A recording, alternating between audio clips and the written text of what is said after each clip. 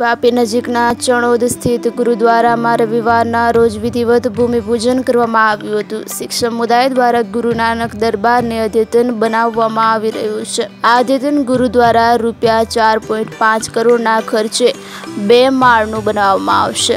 રવિવારે સવારે ગુરુદ્વારામાં વિધિવત કાર્યક્રમ કરી પૂજા અર્ચના કરવામાં આવી હતી. સવારથી જ મોટી સંખ્યામાં શીખ સમુદાયના ભાઈ બહેનો અને વડીલો ઉપસ્થિત રહ્યા હતા. ભૂમિપૂજન કર્યા બાદ આદિને લંગરનું આયોજન પણ કરવામાં આવ્યું હતું, જેમાં મોટી સંખ્યામાં ભક્તજનો હાજર રહી લંગરનો લાભ લીધો હતો. અહીં અદ્યતન ગુરુદ્વારામાં પર્યાવરણની જાળવણીને પણ ધ્યાનમાં રાખવામાં આવી છે. ઇલેક્ટ્રિસિટી માટે સોલાર સિસ્ટમનો ઉપયોગ કરવામાં આવશે. પાણીને રિસાયકલિંગ કરી પાછું વાપરી શકાય તે માટેનું પણ આયોજન કરાશે. લંગર, બૂટ ચંપલ મૂકવા માટેની જગ્યા, લિફ્ટ વગેરે સહિતની અદ્યતન વ્યવસ્થાઓ ઊભી કરાશે. આ વર્ષ બે હજાર ઓગણીસ ગુરુ નાનક દેવજીની પાંચસો ને પચાસ વર્ષની જન્મ જયંતિ છે અને વાપી ગુરુદ્વારાના પચીસ વર્ષ પૂર્ણ થાય છે. જેને યાદગાર બનાવવા માટે આદ્યતન ગુરુદ્વારાનું નવનિર્માણ કરવાનું શરૂ કરાયું છે.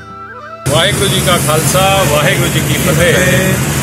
આજે જે અહીંયા વાપી ચણોદ ખાતે જે ગુરુદ્વારા ગુરુ નાનક દરબાર છે એમની નવી બિલ્ડિંગનું આજે જે ન્યૂ પથ્થર રાખવામાં આવ્યો છે ફાઉન્ડેશન સ્ટોન લેઇંગ સેરેમની કરવામાં આવી છે, આ જે નવી બિલ્ડિંગ બનાવવાનો જે એક સાહસ શરૂ કર્યું છે, વાપી, દમણ અને સેલવાસાની સમૂહ, ગુરુ નાનક નામ લેવા સંગત જે છે, એમણે મળીને શરૂ કર્યું છે.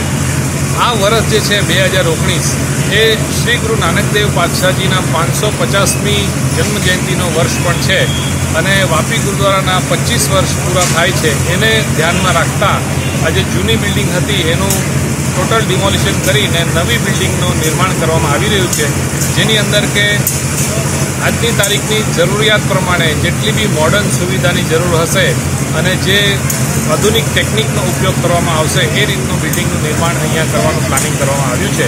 આજના તારીખે જે તમે જુઓ છો તો જૂના જેટલા ટ્રસ્ટીઝ અને જૂના જે કમિટી મેમ્બર્સ બધા જે દેશ અને વિદેશમાં પણ વસે છે, એ લોકોએ પણ આજે અહીંયા હાજર રહીને અહીંયા ફાઉન્ડેશન સ્ટોન લેઇંગ સેરેમનીમાં પોતાનો ભાગ ભજવ્યો છે.